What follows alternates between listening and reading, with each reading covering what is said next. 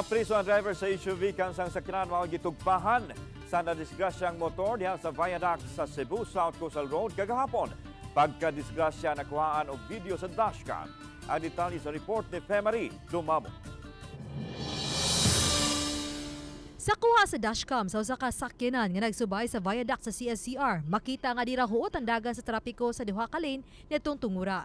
Nakuhaan sa dashcam kining puti nga sakyanan nga padong sa south. Nakuha no sa video ang motorsiklo nga gasunod sa maong sakyanan nga kusog nga nagpadagan umigawa sa luyong bahin sa iyang gisundan nga sakyanan. Apan milaho sa motorsiklo ngadto sa gutter ug mibangga niini.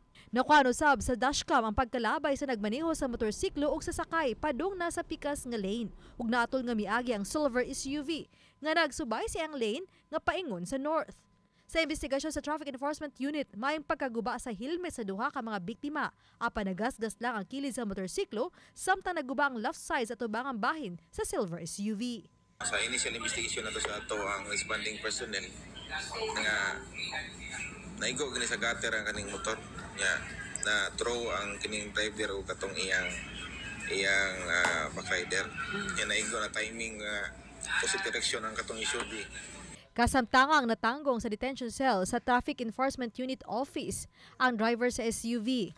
Mato di de la Serna nga dunay 36 ka oras nga reglementary period ug kun way mo pasaka og kaso hayan buhian nila si Dominador Duyungan. 60 anyos nga driver sa SUV ug usa ka retired fireman. Padungon ta siya magato siyang kabanay sa pantalan ni adtong higayuna. Mato ni Duyungan nga nagkaistorya na usab sila sa kapuyo sa driver sa motorsiklo ug nga nahilot ra. Gipaabot na lang niya ang pamilya sa biktimang pasahero. affidavit of resistance para uh, mag-sit. Sabot lang mi. Yeah. Bisag akong dili na ako sala, mahatag lang ko yung lang gamay nga hinabang. Ni okay na to ang, ang, ang katong kalibit mart niya. Ang patayng lawa sa babaeng pasahero na apa sa punerarya o gikatakdang dadun sa ilang dapit sa Ozamis City. Ang patayng lawa sa driver sa motorsiklo gidala na sa lungsod sa Medellin. Samtang ang kumpanya sa motorcycle for rent nga Move It, din sakop ang namatay nga driver ni pagawas og pamahayag nga mihatag og ginabang ang kumpanya sa nakalas nilang motorcycle driver ug sa pasahero niini. Ug nga nakigalayo na sila sa mga pamilya sa nalambigit sa aksidente.